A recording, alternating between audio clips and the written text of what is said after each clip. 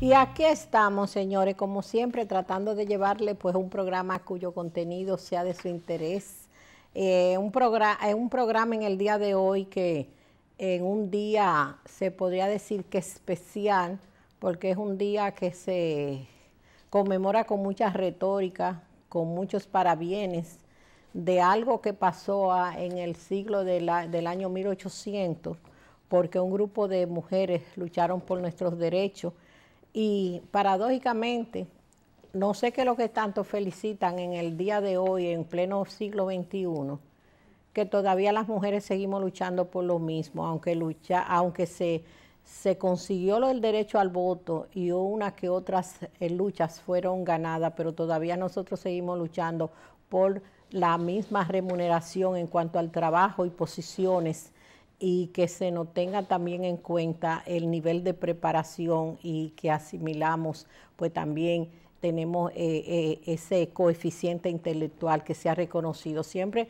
por más que una mujer estudie y que sea y trascienda y que se dé a conocer, siempre pues sus condiciones de, por ser mujer simplemente creen que no es capaz de desarrollar eh, una, una labor institucional igual o mejor que un hombre. O sea que desde hace siglos es que esa lucha que tuvieron esas grandes mujeres en esa fábrica, en este textil, donde se las encerraron y fueron quemadas y eso estaban luchando por sus derechos de eh, ser bien eh, remunerada igual que el hombre y que después se consiguió pues el derecho al voto, de elegir pues todavía seguimos luchando por estas cosas. Entonces, ¿qué se ha conseguido? Se ha conseguido muy poca cosa y se celebra siempre con mucha retórica, con mucha... Eh, enalbolando la bandera de ser mujer, de ser mujer, seguimos luchando, tenemos que seguir luchando por eso mismo, luchamos por ser mujer y porque se, reconozca nuestra labor de igualdad de género en, cuanto a, todas las labores que desempeñamos. Por eso yo nunca me he identificado tanto, porque veo que desde muchas... Eh, podios, desde muchas tarimas, pues se enalbola esa bandera, mujer, felicidad, y de ahí eso no pasa, eso no pasa. Fíjense que aquí en este canal, nadie, yo le pregunto a las pocas mujeres que trabajan aquí, a las pocas no, aquí trabajan muchas, pero en el área que yo me desenvuelvo, que es aquí en el área del estudio, de las grabaciones, pues hay pocas mujeres. Y le digo a una, los muchachos de aquí te dijeron algo. Concho, ven acá. Entonces, ¿verdad? Yo le dije, no, por eso mismo yo no creo en nada, porque que no, no, no, ni, ni, siquiera sigan ahí, ni les reconocen los trabajos tampoco. Creen que como están ahí empleadas y le están pagando y, no averiguan si le están pagando menos a ellos, más a, a la mujer, no, no le interesa nada. Entonces es una lucha que todavía se sigue. Y hablando de eso, antes de tener un invitado muy especial en el día de hoy, David Jiménez, un salsero nuestro, que bueno, tuvo que emigrar de nuestro país. Hace 20 años estaba viviendo por España, pero ya es nuestro de nuevo. Vino a rescatar su suelo dominicano. Antes de pasar con él y tener esa conversación para que usted lo conozca un poquito más a fondo qué ha hecho y, y cuáles han sido pues sus galardones que ha conquistado a través de su música y de sus interpretaciones.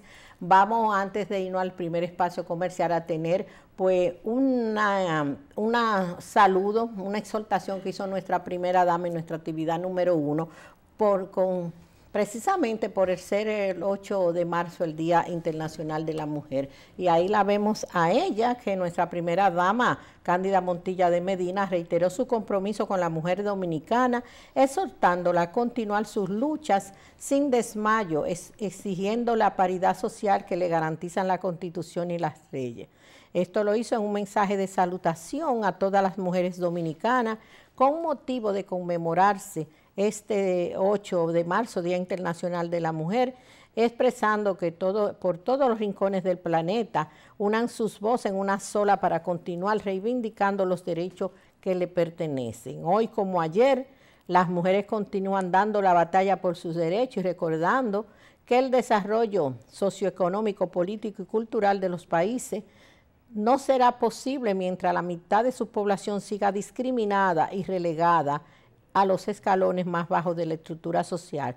Este es el mensaje que dijo nuestra primera dama, Cándida Montilla, de Medina en este Día Especial, Día Internacional de la Mujer. Destacó que en este día se reconoce a las mujeres en todo el planeta por su lucha por la igualdad, la equidad y la justicia de género.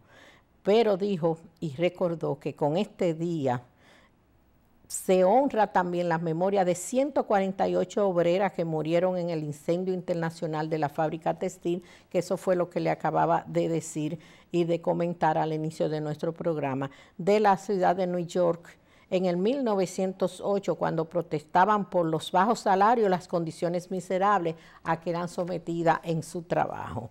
Estas mujeres protagonizan una nueva ola reivindicativa a nivel internacional que ya en varios países del mundo se realiza esta huelga que hicieron esas mujeres y el dueño de esa industria. Ellos hicieron una huelga para conseguir esos derechos que acabamos de mencionar, por el mejor salario, por mejor trato en su trabajo. Y el dueño de la textilera, eh, al no poder calmarla, la, encerró para que no saliera y se provocó un incendio, siendo quemadas todas vivas. Eso fue eh, devastador y desde ahí, pues esta huelga de mujeres contra la violencia machista, que también se lucha por el acoso sexual, la desigualdad salarial y la desvalorización de los ciudadanos de los cuidados femeninos a las personas enfermas con discapacidad y todo el entorno familiar, entre otras reivindicaciones. Este Día Internacional de la Mujer, siguió diciendo nuestra primera dama, se conmemora en diversas, con diversas actividades, entre ellas un reconocimiento a mujeres que se han destacado en diferentes ámbitos de la vida nacional. Y yo quisiera hacer, a, propósito, quería llegar a ese puntito de reconocimiento de a varias mujeres, que yo no sé cómo es que cogen esas mujeres porque yo, eh, eh, eh, porque es verdad, aquí hay muchas mujeres que no son tan públicas, y que viven haciendo proeza a favor de, de, la sociedad, también haciendo muchísimos trabajos sociales y que yo nunca le he visto en esos podios, siempre son el mismo grupito y la más reconocida y la más pública. Porque a Fefita, ok, que es un ícono nuestro y, que una, y, un grupo de damas ahí, pero hay que ver su labor social, su, su parte de su responsabilidad social como la, la, hacen. Yo lo escribí en un grupo ahí, que es un grupo de, de, personas, yo dije, pero aquí hay muchas mujeres que no son tan públicas y que viven haciendo día a día contacto con, con, con sus y haciendo actividades, labores altruistas y que no han sido tomadas en cuenta y que son tan merecedoras de un reconocimiento del presidente como todas esas que escalardonan todos los años, incluyéndome a mí. Así mismo lo puse, incluyéndome, porque esta voz que alzo no es, también incluyéndome. Entonces, a veces aquí lo que hay es que también enseñar algo, ponerse a tocar algo y hacer un número de cosas como para despertar el interés, porque cuando usted hace las labores eh, eh, simple para ayudar al otro, para eh, unas labores desinteresadas en favor del otro, a veces no son tomadas en cuenta. Nada más son tomadas en cuenta algunas, dos o tres y el mismo grupito de siempre. Eh, vámonos ahora hablando de eso. Tuvimos como todos los años, 10 años, va la compañía telefónica Claro, fue haciendo este almuerzo por el Día Internacional de la Mujer. Ahí las vemos nosotras ahí compartiendo con Romy Grullón, Gianni Paulino, Lili Lebron, Magnolia Landestoy. Y ahí estuvimos, esa en la mesa que nos tocó. Y ahí estoy yo con la prensa pesada, que es que me gusta ir, porque usted sabe que eso es la opinión, es lo que yo me identifico con todas esas mujeres guerreras, Edith Feble, Altagracia Salazar, eh, Amelia de Chan y yo estamos ahí compartiendo en ese almuerzo que todos los años hace claro. Y en esta ocasión la invitada a la conferencia, al conversatorio fue Mukien Sanben, que ustedes saben que es una mujer preparadísima y que llevó ahí estoy yo con Celeste Pérez, que es la editora de, sociales del Listín Diario, confesor, eh, eh Calmensi Confesor, editora de la revista eh, o Magazine también, y Belice Villegas, que es su editora también del listing, y yo en esa parte que uno comparte. Más que estoy yo con el presidente de Claro, el señor Oscar Pérez con el esposo de Muquien San Ben, que la ven ahí, soy la Puello, eh, también Fiol de Ranucoli, que es la presidenta de las mujeres empresarias de AMEPRO, y con Yaira Gazón de Encuentros VIP de CDN, que somos grandes amigas. Ahí estuvimos compartiendo con la reina de la noche de Santiago. Es ahí, ya lo saben, de reina a reina, yo soy la reina del UHF aquí. Y ella es la reina de Santiago, Bérgica Suárez. Fue un almuerzo bellísimo, compartimos, recordamos muchos momentos y ahí vemos el momento. Ese es el video, vamos a darle audio. Hoy, 100 años, más de 100 años después de haber sacado a la luz su obra. Como antes, la fuerza y no la razón la fuerza y no el amor a la humanidad es lo que se ha impuesto en el mundo. El honor continúa siendo un espejismo, quizás una mentira, una gran mentira. Debemos cuestionarnos profundamente y asumir críticamente nuestras acciones. Normalmente somos críticos con los otros, buscamos culpables, son ellos, son los otros, es aquel, es ella.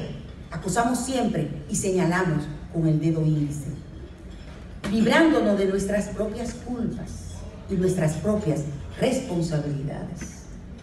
No soy yo sin el nosotros. Yo no puedo ser yo si no me cuestiono qué he hecho en la vida. Asumimos una conducta ética en la vida, en las pequeñas y en las grandes acciones. Eso es una respuesta que todos y cada uno de los que estamos aquí debemos hacer. Creo que ha llegado el momento de asumir una postura distinta ante la vida. Tenemos el reto de ser portavoces de una, nueva, de una buena nueva. Ser ejemplo del contravalor actual. abogar por el ser, por la ética como norma de vida. Por la crítica constructiva contra aquellos que se burlan y nos acusan por abogar por ideas y utopías ilusas. Esta historia la conseguí a través de una amiga que se llama Pesca para toda la vida y refleja mucho lo que estoy diciendo. Comienza así. Tenía 11 años e iba a pescar cada vez que podía desde el muelle de la cabaña de su familia, ubicada en una media isla en medio de un lago.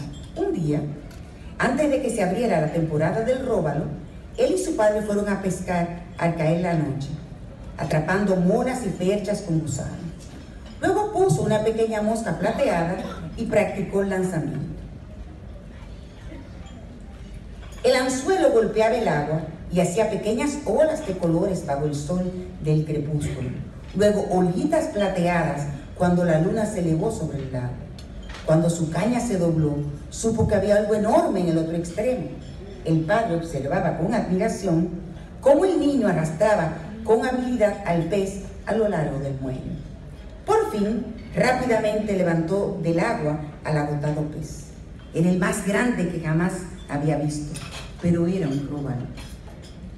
El niño y su padre miraron el hermoso pez con las agallas moviéndose a la luz de la luna. El padre encendió un fósforo y miró el reloj. Eran las 10 de la noche, dos horas antes de que se abriera la temporada. Miró el pez y luego al niño. Tendrás que devolverlo, Rubino. ¡Papá! gritó el chico. Habrá más peces, dijo el padre.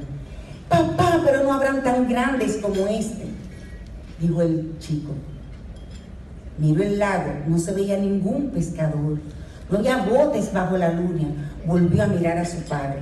Y aunque nadie los había visto, ni nadie podía saber a qué hora habían pescado el pez, el chico advirtió por la firmeza de su padre que la decisión no era negociable. Lentamente sacó el anzuelo de la boca del enorme róbalo y lo llevó a las aguas.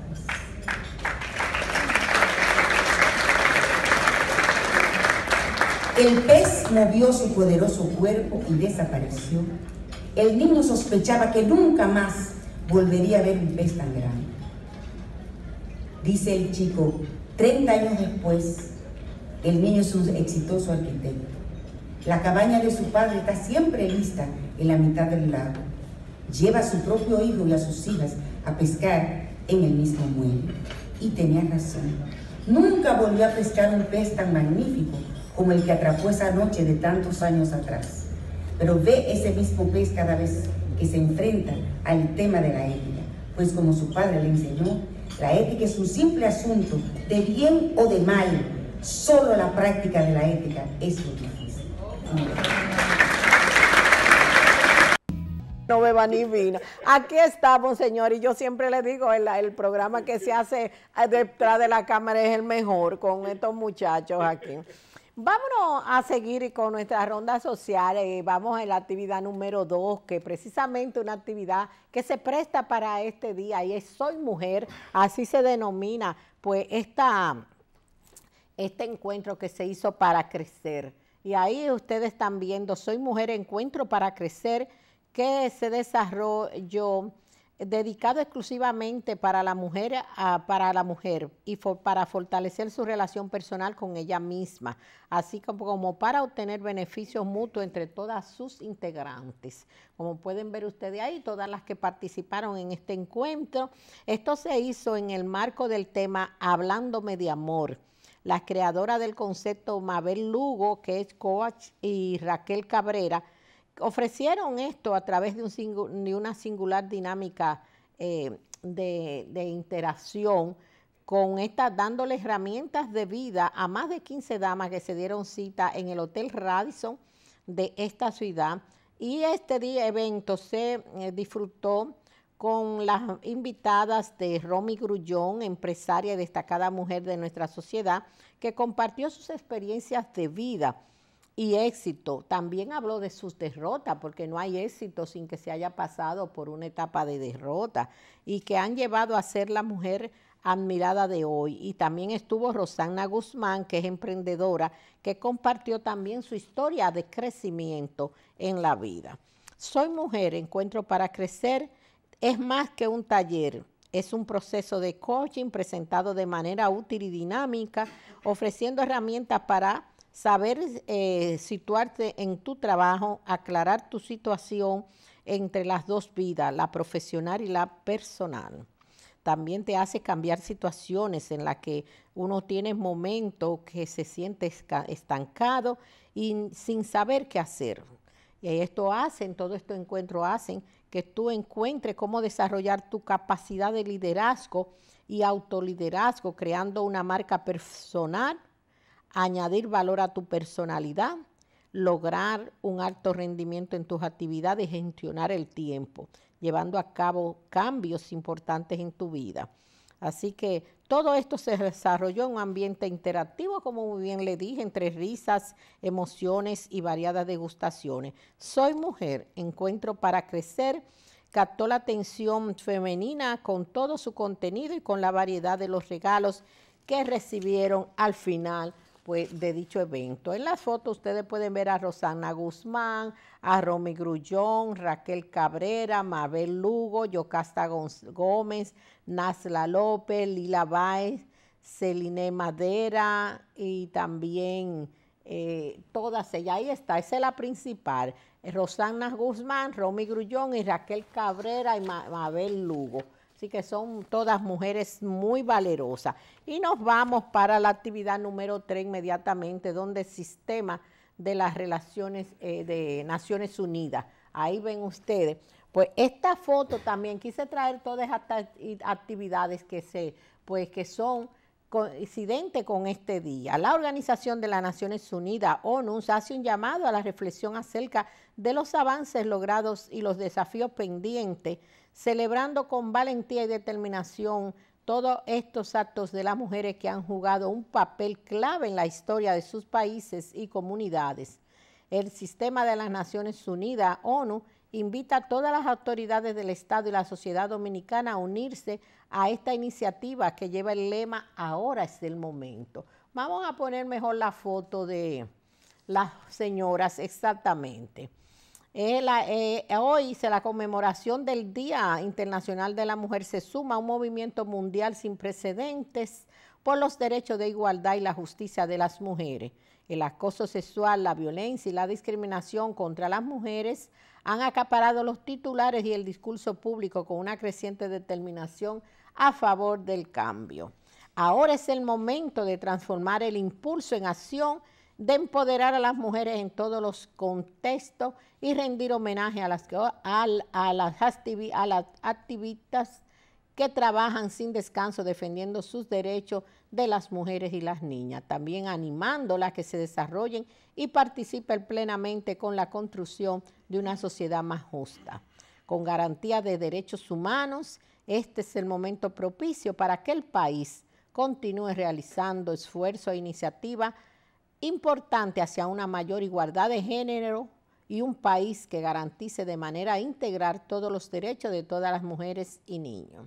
Así que ese es el llamado que hace este sistema de las Naciones Unidas con el eslogan ahora es el momento de actuar por los derechos de la mujer. Y hoy es el día de iniciarlo. Nos vamos ahora con una actividad, señores, del número 5, donde compartimos con unas mises de unas eh, candidatas de una actividad que se realizó en Santiago. Ahí pueden ver ustedes que la organización de este certamen de mi República Dominicana, Santiago, presentó formalmente a sus candidatas que aspiran a convertirse en la nueva representante de la ciudad corazón. Esto lo hicieron ante un importante concurso que se denominó Mi República Dominicana Universo 2018. El encuentro de presentación tuvo lugar, como pueden ver ustedes ahí en las instalaciones del, del restaurante El Rancho de Santiago, donde 12 hermosas verdades mostraron su, talento, desenvolvimiento y cualidades para optar por la apreciada corona. Carlina Durán, directora de la organización Mi República Dominicana Santiago, pues en su ahí la ven ustedes, en su discurso resaltó el certamen como el más importante de Santiago, en el cual se elige una candidata para representar a la provincia en el Miss República Dominicana Universo. En estas ediciones anteriores, la organización de Santiago pues, ha trabajado arduamente para que la ciudad tenga una digna representante. Como muestra, han logrado alcanzar la posición de primera finalista durante cuatro años consecutivos, obteniendo los reconocimientos del mejor traje típico, mejor prueba de talento, de igual forma eh, su actual reina fue la embajadora de nuestro país ante el certamen internacional Miss Continente Unidos, quedando el top final de dicho certamen. También tuvo las reinas, reinas que se han destacado como imagen de importantes marcas nacionales.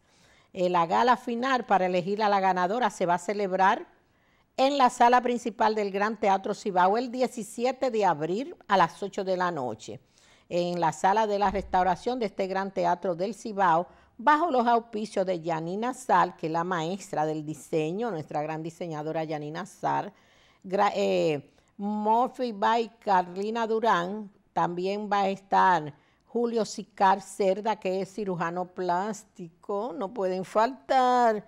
Eh, porque ustedes saben, VIP láser para prepararla de todas las manchitas y ahí corregirle cualquier defectico que tengan en la nariz, los pocos senos y esas cosas, siempre en todo este elenco de participación, pues siempre hay un cirujano práctico real, evento Rosa de Cristal, también los hoteles Odelpa, la alcaldía de Santiago va a ser su también productores y patrocinadores de este evento.